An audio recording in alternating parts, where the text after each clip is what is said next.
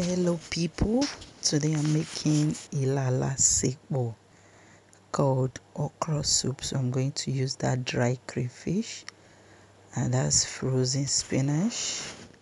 I'm going to use some dry catfish and those are the meat. So to boil them I've added some chicken powder, added onions to bring it to boil while I chopped the okra.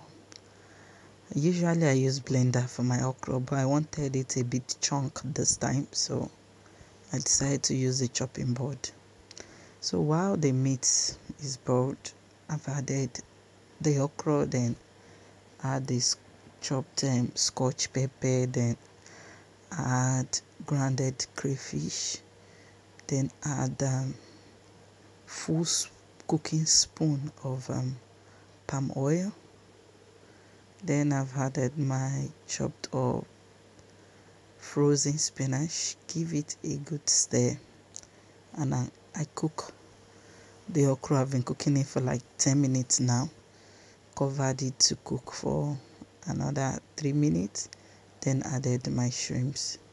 So I'm make so to make my swallow I'm using coconut flour that's it. I've added psyllium husk two baby spoons size.